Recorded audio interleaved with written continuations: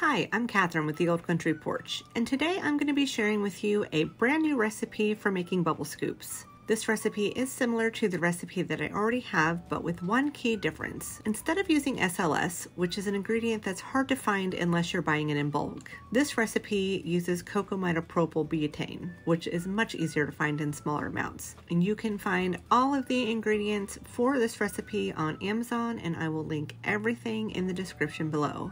There are also less ingredients in this recipe, so if you're new to making bubble scoops, this is a good recipe to start off with. So you will need some mixing bowls, a mixing spoon, and a digital scale. And the first ingredient is 10 ounces of baking soda. If your baking soda is clumpy, you can sift that before you add that in.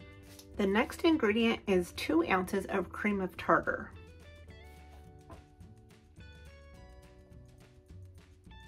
Next is one and a half ounces of tapioca starch. I did try this recipe using cornstarch instead of tapioca starch and it did not work as well. So definitely go with tapioca starch for this one. The next ingredient is 2.5 ounces of coco betaine.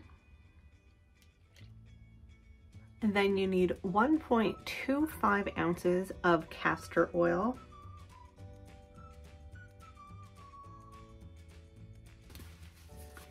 Then you'll need 0.2 ounces of your fragrance oil. And the last ingredient is two ounces of SLSA. And I always put that one in last because you'll need to wear a mask when you're using this product. It's really light and gets airborne easily and you don't want that in your lungs. So I add that in, I mix it up. As soon as it's mixed up, then you don't need your mask anymore.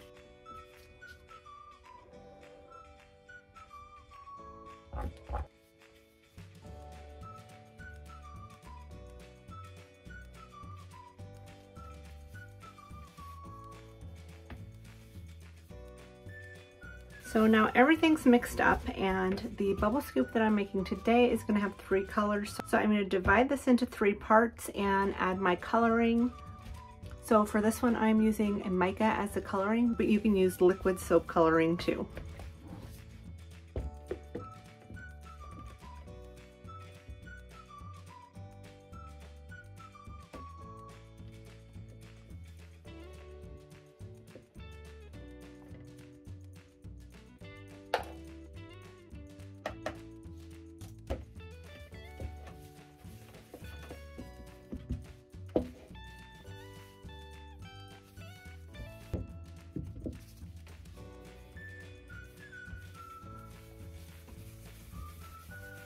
So now my colors are all mixed up and I want my bubble scoop to have kind of a marble effect.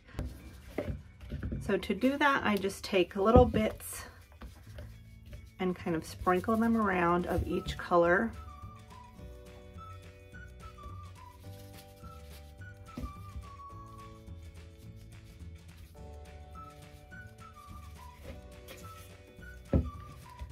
And I keep doing that until all of the colors are in one bowl.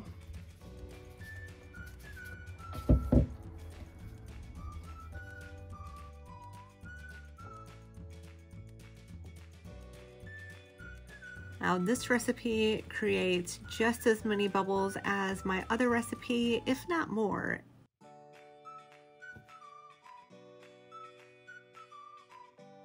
As far as substitutes go, I cannot recommend any substitutes for any of the ingredients because changing anything will change the texture of the bubble scoop.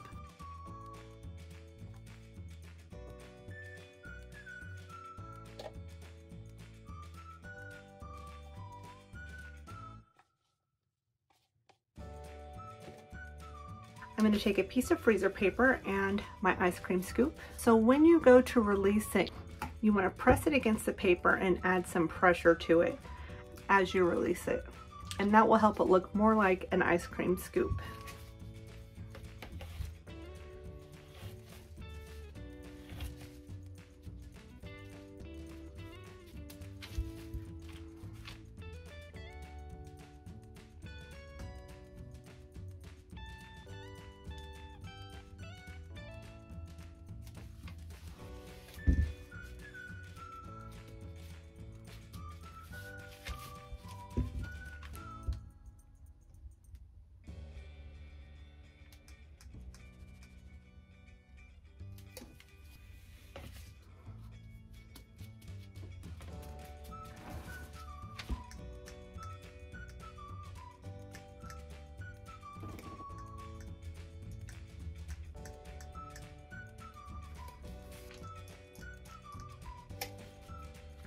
So there's not enough left for the last scoop, so I'm just gonna make a little square and I'll use this one myself. So you're gonna wanna let these dry for at least 12 hours. And if you're packaging them, then they should dry at least 24 hours. If you're in a humid climate, it will take longer for them to dry. So for packaging, I like to use these little 4x6 heat seal bags.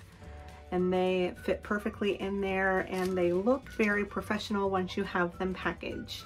And if you try out this recipe, I would love to know how it worked out for you. If you like this video and want to see more like it, don't forget to hit the subscribe button. And thank you so much for watching and I'll see you next time.